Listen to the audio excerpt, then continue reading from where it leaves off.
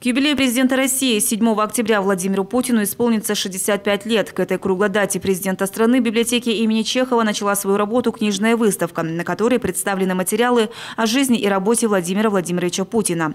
Адрес библиотеки Чехова, улица Кичелула, 9, квартира 2.